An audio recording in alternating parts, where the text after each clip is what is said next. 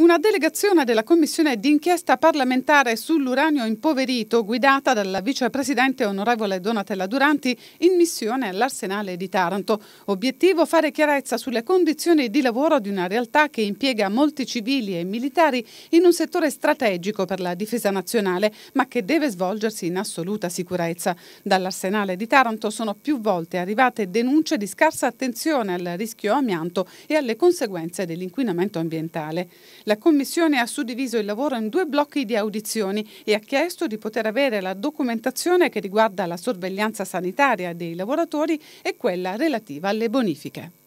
la Marina Militare eh, ha accumulato ritardi e omissioni rispetto all'applicazione delle leggi dello Stato. Oggi siamo di fronte ad una situazione drammatica per i lavoratori che sono già ammalati e quelli che potrebbero ammalarsi nei prossimi anni e quindi dobbiamo comprendere fino in fondo le responsabilità pregresse, capire se oggi i rischi in riferimento alla sorveglianza sanitaria, alle bonifiche sono in qualche maniera mh, eh, non più importanti oppure se permangono rischi ehm, e,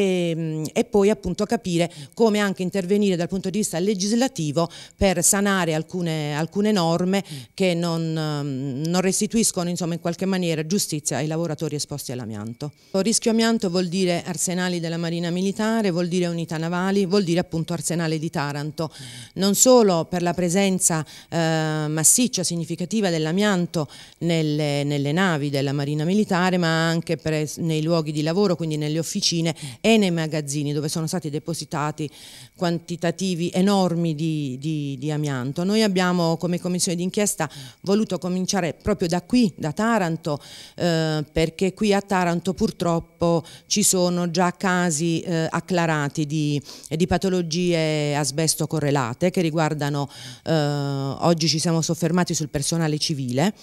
sul personale civile e dati sul, su numerosi lavoratori ex esposti all'amianto. Ehm, l'esposizione all'amianto io mi sento di dire che ha riguardato complessivamente tutti i lavoratori eh, che a diverso titolo sono stati impiegati nell'arsenale della Marina Militare di Taranto.